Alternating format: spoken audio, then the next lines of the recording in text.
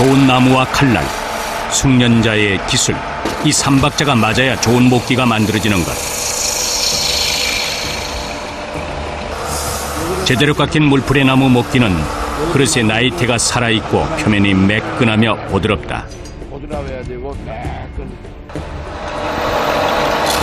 뜰새 없이 나무를 깎아대는 작업의 반복. 30년 넘게 해온 이 경험을 통해 칼끝의 움직임을 손끝으로 느끼고 그릇을 깎아내는 기술을 터득해야 한다. 나무를 깎는 기술만큼이나 중요한 것은 만드는 사람의 정성. 숙련된 손끝에서 정성을 쏟으면 뿌리 깊은 나무처럼 올곧은 목기가 탄생된다.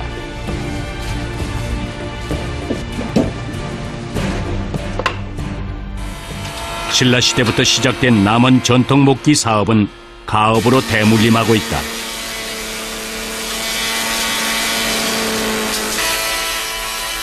가업을 잇기 위해 3년 전부터 목기 제작에 나선 태훈 씨. 처음과 달리 요즘은 부족한 일손에 보탬이 많이 되는 편이다.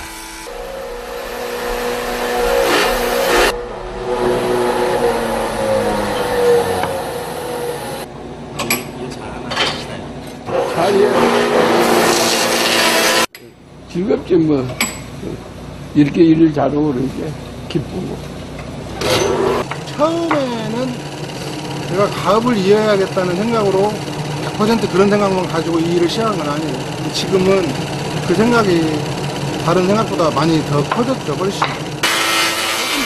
매일 아버지에게 목기 기술을 전수받고 있는 태훈 씨. 목기의 명인이 되기까지 아버지가 경험한 수백 수천 번의 실패, 수많은 고난과 시련 역시 그대로 느끼고 있다. 일할 때랑 집에서의 아버님이 좀 틀린가요? 많이 다르죠. 일할 때는 많이 음해요. 욕도 많이 얻어먹고, 혼나기도 많이 혼나고. 50년 외길 인생을 걸어온 장인의 이유 있는 고집. 나무 먼지와 함께한 50년 세월 속 장인의 자부심이 천년의 맥을 잇고 있다.